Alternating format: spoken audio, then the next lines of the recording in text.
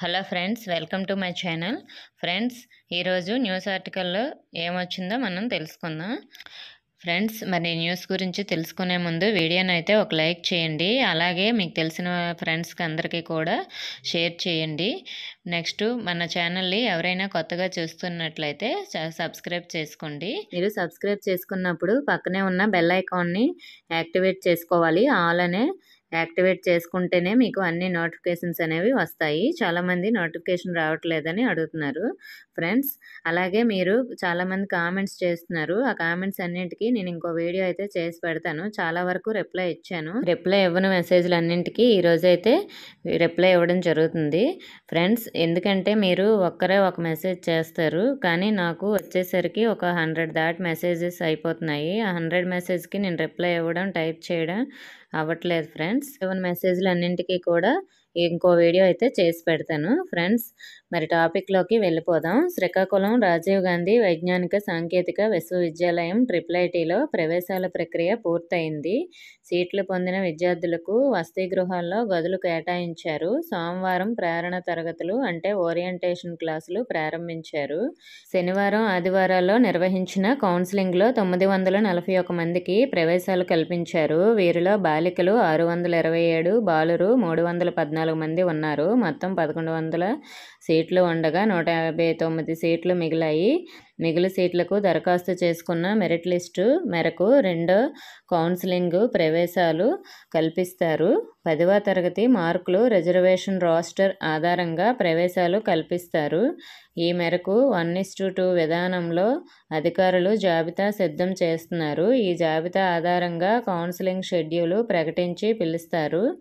November ఒకటి నుంచి అయితే రెగ్యులర్ క్లాసులు ప్రారంభించడం జరుగుతుంది. ప్రస్తుతం ప్రీ యూనివర్సిటీ కోర్సు పియూసి అనంతరం ఇంజనీరింగ్ విద్యపై నూతన విద్యార్థులకు అవగాహన కల్పిస్తున్నారు.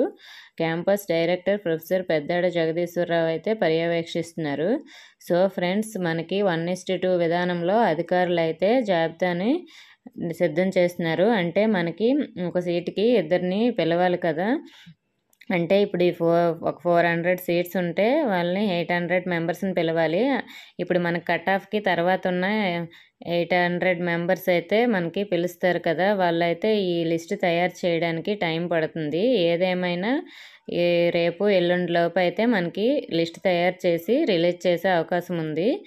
ఏ టైంలో రిలీజ్ చేస్తారో కూడా మనకి అయితే ఇన్ఫర్మేషన్ రాదు.